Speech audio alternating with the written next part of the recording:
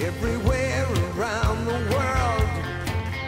They come into America every time that flag's on.